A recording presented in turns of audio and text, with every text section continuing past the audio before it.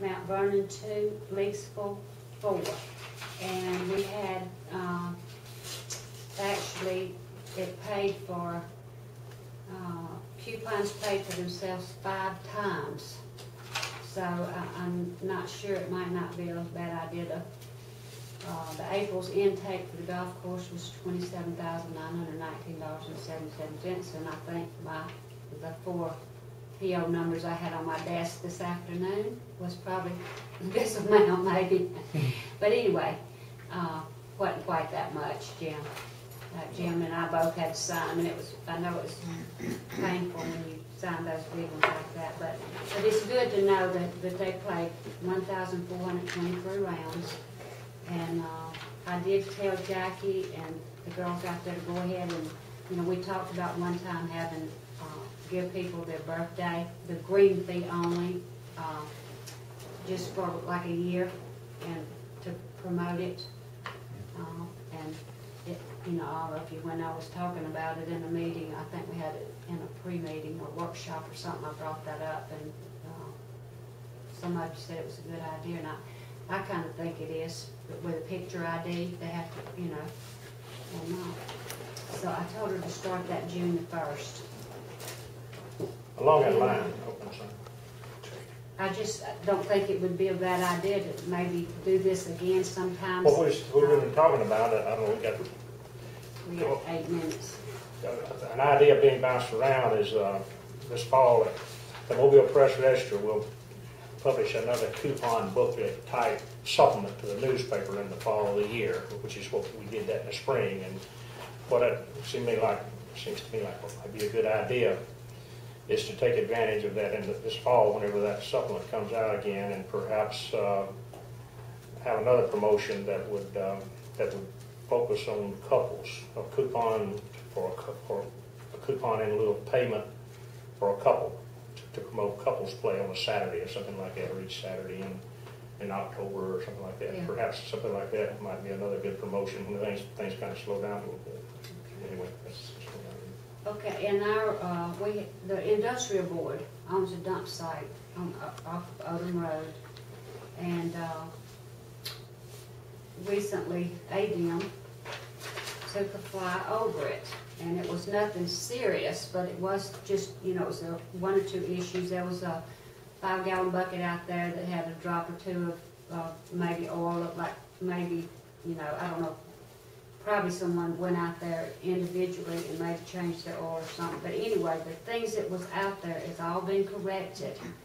Uh, and, and we sent a letter, we've got everything documented, and it was, like I said, it was nothing serious, but, um, I, whatever. Uh, but my, um, take on this is that we quit using the, uh, the dirt pit, because, uh, we're gonna have to buy a permit for one thing. And once you buy the permit, you know, we don't have you know, we have access, but uh, so does probably forty more people have access to the pit because it's an oil field road. We have no way of keeping people out of it. Uh, they're gonna continue to throw paint buckets out and everything else, you know, like they do in other areas of our city. But this makes us liable. So I'm suggesting that we quit using the dirt pit altogether and just let the industrial board have it.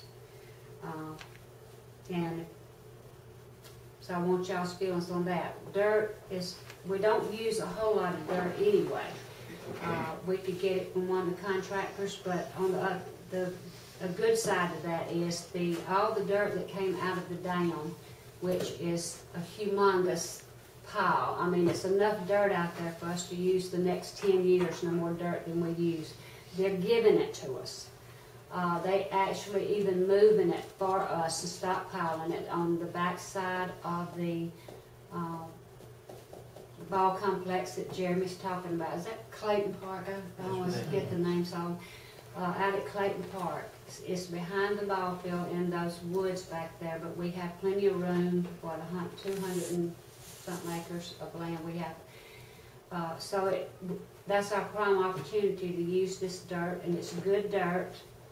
Uh, actually, they've even, they, the crews put pipe in today. We've always had to go out and go through the Rouse land on Prime Road. Uh, the people that's building the dam, uh, Philip, uh, gave us the dirt, and they also moving it for us, it's not costing us anything. They built a road into that two hundred and forty or eighty acres, whatever it is. Uh, and I would like to see eventually, uh, some, like some campsites back there, uh, just roughing it, like we could have like tents and, uh, pop-ups and things like that. Uh, that they, they brought the dirt in, built the road, and spread this whole thing. They didn't charge us anything, so, uh, make a long story short, we'll just use that dirt, and when it runs out, then we'll go revisit, uh, our contractors in town or whatever, if that's what y'all wanna do, but I do want someone to make, um, we'll put that in form of a motion to, uh, not enter into the, uh, dirt pit. You want the motion to state that we're not interested in, in buying a permit from ADM Right. And to, to close. Relinquish. Why don't, our- why don't you phrase, it, not interested in using the dirt pit that belongs to South Alabama Utilities? Uh, it belongs to industrial. Uh, Industrial board, that's it. Right. I can do that. And that would, that covers everything. Okay. We're adjourned. We'll talk about it more in a, yeah.